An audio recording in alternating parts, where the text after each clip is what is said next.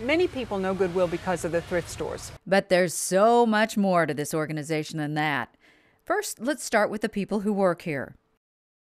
One of the great things about Goodwill is that the company provides jobs to those who might otherwise be considered unemployable.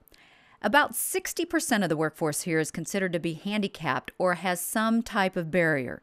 A barrier meaning they're in some way unemployable. In other words, they may not speak English or have some other barrier we can't necessarily see. The people working here are making money for their production. Everybody here gets a paycheck. We pay them by the amount of work they produce. That way, someone who is very limited in what they can do can still earn money, but someone who is quite capable can earn more benefiting their talents. Goodwill employs about 500 people throughout Kansas. About 170 of them work at this facility. Kier is one of those people. I was I was born with a brain damage with the forceps. He's been working here for 10 years. If it wasn't for Goodwill, Kier says his life would certainly be a lot different. I don't know what we're gonna do, but we probably lost everything.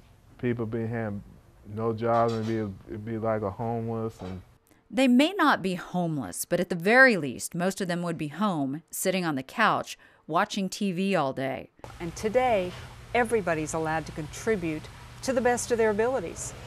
Which means they're making money and adding to the economy rather than just taking money from it. Everyone who works here makes a paycheck. Even the most severely handicapped person who works here gets a paycheck. And that means a lot to employees like Marie. Why do you like coming here? Uh, just to make money, of course. Earning a paycheck means more than just money, though. But what a paycheck does do is increase your self esteem. Even if that paycheck just lets you go to the movies and McDonald's, I did it myself. I earned that money and I did it myself. And a month doesn't go by that one of our participants doesn't come up and say, Look, look how much money I made this month. There's nothing like that feeling. They know they earned it. It wasn't given to them. It wasn't out of pity. It was because they worked for it and they earned it. And most do spend it. Every job that someone has here contributes not only to the worldwide economy, it contributes to the income of goodwill that helps pay for the programs that help them. So it's a wonderful cycle. So, what does Marie spend her money on? Uh, grocery shopping. Uh, sometimes I spend it on uh, something else too. And every every other Saturday I'd go out to eat and stuff like that. Rather than going to movies and out to eat, Kier has other plans for his paycheck. Like a lot of us, he's infatuated with the latest technology. I spent. I just. I'm trying to do my save some money, but I'm trying to get the the Samsung Galaxy. You know, I like tablet phones. I'm on, I'm hooked on now. Money isn't the only benefit of working here, though. Whether they realize it or not, these employees are gaining other skills as well. But that's yeah. some of the skills that people learn. How do you get along oh, with each oh, other? The How do you solve a problem? Oh, How do you resolve something other than physically? Okay. And these are lessons oh, that we can teach in occupational work like this. Many of these employees, once they're trained, go on to work for other companies like Walmart or Dillon's. We have some turnover in the stores. It's a good thing because we're moving those people into better jobs. Goodwill's focus is always vocational. We want people to be able to produce the best they can with the abilities that they have so that they can be self sufficient. You've seen how Goodwill impacts its employees, but let's see how the business, and yes, it is a business, operates. It's very important that our retail side of the operation makes dollars because we have to support our programs. So Goodwill is a business. One way Goodwill makes money is by partnering with major corporations. Our contract work is a wonderful area because it allows us to help other people in the community. We do work for Hawker Beechcraft and we make insulation blankets. Westar, uh, Dondlinger Construction, we make their safety vests for them. Agco, uh, we make lubrication pumps for them that end up in hay balers. They also have what they call a fiber contract. This is an interesting contract because of the fact that the skills get more difficult. But everybody who works on the contract gets paid by production, which means that even the people who can only fill maybe a bag an hour get some sort of a paycheck to take home. Because this fiber is then shipped out all over the country where it's used to fortify cement. Marie has worked on a lot of different contract jobs here at Goodwill, but says she loves working in the fiber area the most. What, what's your favorite job that you've done? Mm, well, recently I kind of enjoy sealing. This is another contract program that's been a huge success for them. Our sewing contract has grown tremendously. It began with one employee's idea to make dog clothes out of clothing they couldn't sell in the stores. Today we're making safety vests for the Department of Transportation in Kansas. We're also making uh, scrubs, medical scrubs that we're selling to various places throughout the country as well. What you're looking at now are jail uniforms. Goodwill just got that contract this year. Well, the good part about contracts like the sewing contract is the more contracts like that we can get producing necessary products, the more people we can employ. And the more people we employ, the more we're helping our community because the dollars they make here go back into the community, which is fabulous. Absolutely nothing goes to waste here. While making safety vests for humans, many of these seamstresses had to do a few practice runs to get used to using this slippery fabric. Using those scraps, they made dog safety vests. And those are selling quite well in our stores because you can't lose your dog when he has one of these safety vests on. The employees do top quality work here. In fact, it's so high quality, they've been ISO certified. ISO certification is a quality rating.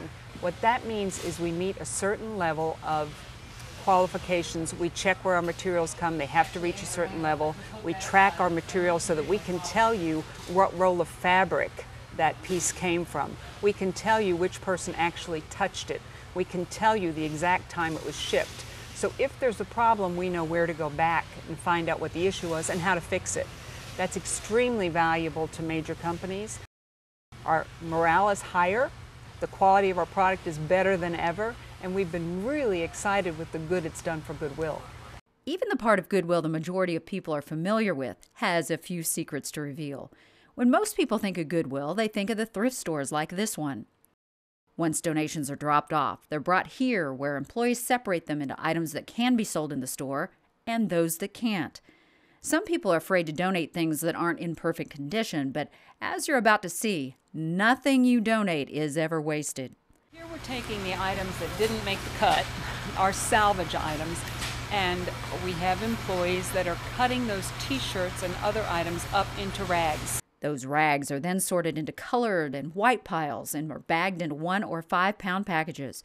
And they're sold throughout the state paint shops, warehouses, things that just literally need a rag. That way, these items don't end up in the landfill and they're ser serving a useful purpose. So everything that we can recycle can be reused, and that's just being responsible and taking care of the earth. They've even found a way to use shoes that don't have a mate. We get a tremendous number of shoes that are not quite in the condition we can put in the stores. And what we'll do is sort those shoes and pair the ones that we can, wrap them in a rubber band and put them in one stack, and the ones that are singles go in another stack. Then we can sell them for pennies on the pound to merchants outside of Goodwill. The single shoes go into a recycling program that reuses the parts to make other products. Another great program makes use of one product that seems to keep stacking up in our storage areas. The Dell Reconnect program allows us to accept donations of used computers, old computers that you don't want anymore, old printers, things that we all collect in our basements because we're scared to throw them away. Dell then cleans them up and either recycles them or properly disposes of them.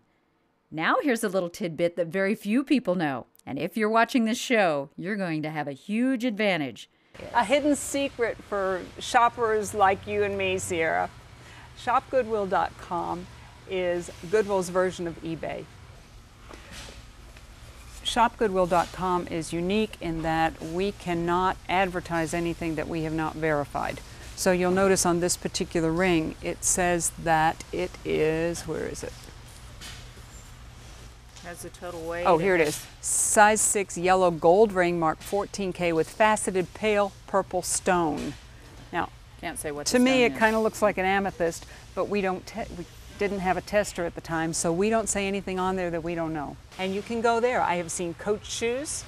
I have seen uh, Gucci sunglasses. We have sold diamond rings.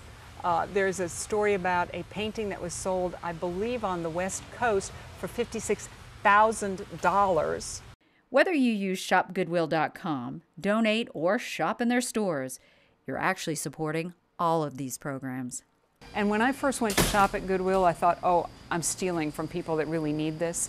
That's not the truth. What you're doing is helping contribute to people who really need stuff.